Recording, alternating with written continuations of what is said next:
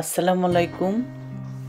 আজকে আমি ঝটপট রেসিপিতে একটা কুইক একটা ডেজার্ট বানালাম, দেখেন।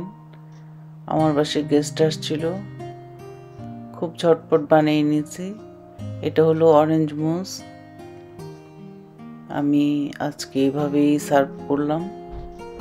আশা করছি ভিডিওটা ভালো লাগবে। আর এত মজা যে মানে মুখে দিলে মনে হচ্ছে যে মিলে যাচ্ছে, এত টেস্ট আপনারা অবশ্যই বানিয়ে খাবেন আর আমার চ্যানেলটাকে অবশ্যই সাবস্ক্রাইব করবেন। আশা করছি ভিডিওটা ভালো লাগবে। আমি ফুল রেসিপিটা দেখিয়ে দিব। আমি প্রথমে নিয়ে নিয়েছি এখানে দেড় কাপ হোল মিল্ক নিয়ে নিয়েছি।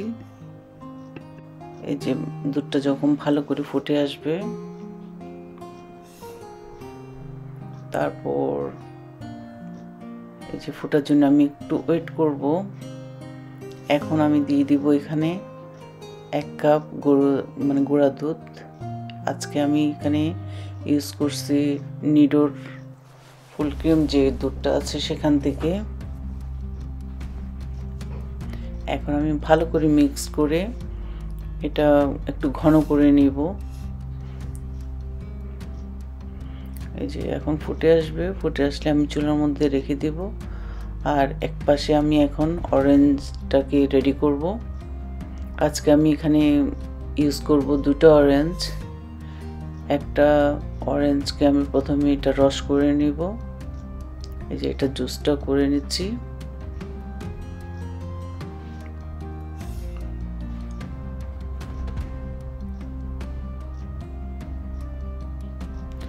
আর একটাকে কেটে এটার ভিতরের অংশটাকে আমি বের করে নিয়ে নিব। এই যে এভাবে করে আমি ফুল অরেঞ্জটাকে নিয়ে নিব একটা বাটিতে। আর এই অরেঞ্জটা যখন আপনার মুখের দাঁতের মধ্যে পড়বে, এত মজা লাগে। মুসের মেন মজাটা এই অরেঞ্জের মধ্যে এভাবে করে আমি পুরোটা এখন তুলে নিচ্ছি। আর এর মধ্যে দেখেন আমার দুধটা অনেকটা ঘন হয়ে গেছে। এই যে অনেকটা ঘন হয়ে গেছে। এখন আমি এখানে ইউজ করব চিনি, কারণ আমি আগে চিনি ইউজ করি নাই। এখানে আমি হাফ কাপ চিনি দিয়ে দিব।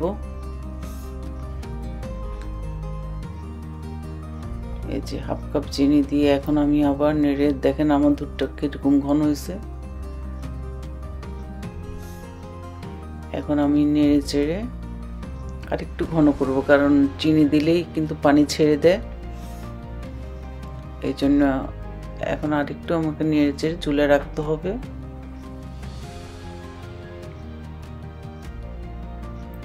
দুধ যত ঘন করবেন আর টেস্টটা তত ভালো হয়। দুধের কারণে মজাটা দ্বিগুণ হয়ে যায়। এই যে, আমার দুধটা মোটামুটি গরম হয়ে গেছে, এখন আমি চুলাটা অফ করে দিব। অফ করে আমি এই দুধটাকে ঠান্ডা করে নেব। ঠান্ডা করে তারপরে আমি মিক্সড করব। আর এদিকে আমি একটা বাটিতে, এই যে এখানে আমি ফ্রেশ হুইপ ক্রিম নিয়ে নিছি। এখন এটা আমি এখানে ঢেলে নিব। এখানে এক কাপ হুইপ ক্রিম ক্রিম নিয়ে আমি একটা বিটারের সাহায্যে এখন এটা বিট করব। যতক্ষণ এটা ফোম না হবে, ততক্ষণ আমি বিট করতে থাকব। এই যে দেখেন, আমি বিট করতেছি। এটা বিট করতে করতে এক পর্যায়ে এটা একদম এই যে ফুল ফোম হয়ে গেছে।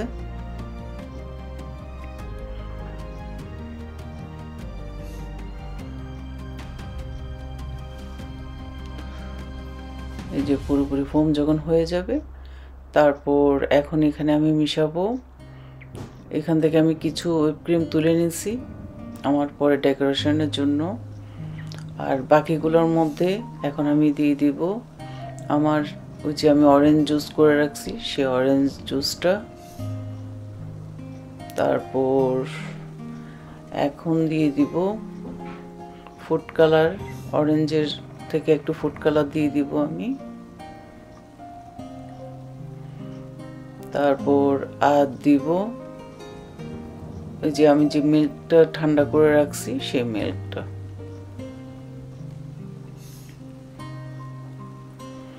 এই যে মিল্কটা দিয়ে দিলাম। এখন আমি আবার মানে আমার এটা দিয়ে ব্লেন্ড করে নিব। এই যে দেখেন আমার কালারটা মনে হচ্ছে একটু কম হয়েছে। এখন আমি আরেকটু কালার দিয়ে বাস আমি আবার করে নিলাম। দেখেন কি সুন্দর অরেঞ্জ কালারটা হয়ে আসছে। বাস আমার এটা হয়ে গেছে। এখন আমি দিয়ে দিব। আমি যে অরেঞ্জগুলো কেটে রাখছি সে অরেঞ্জগুলো দিয়ে দেবো এখানে।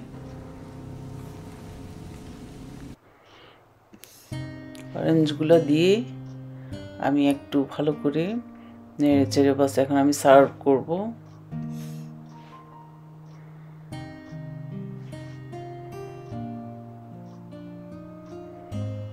খুবই ঝটপট এই ডেজার্টটা হয়ে যায়। আমার তো টেন মিনিটসের মতো লাগছে টেন মিনিটসে আমার এটা কমপ্লিট হয়ে গেছে। আর আজকে আমি দুটো ডেজার্ট বাটি নিয়ে নিলাম। বাস এখানে আমি এখন এটা সার্ভ করব।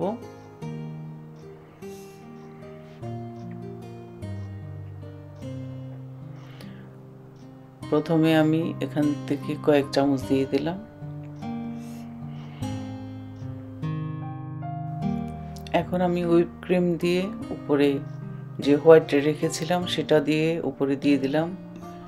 এটা জাস্ট আমি ডেকোরেশনের জন্য রাখছি। এরপর উপরে অরেঞ্জ আমি যে কেটে রাখছি সেখান থেকে একটু অরেঞ্জ দিয়ে বাস একটু ডেকোরেশনটা করে নিলাম। কি খুবই নাইস লাগতেছে, খুবই আকর্ষণীয় লাগতেছে। আর খেতে তো খুবই মজা, খুবই টেস্ট আশা করছি ভিডিওটা আপনাদের ভালো লাগবে।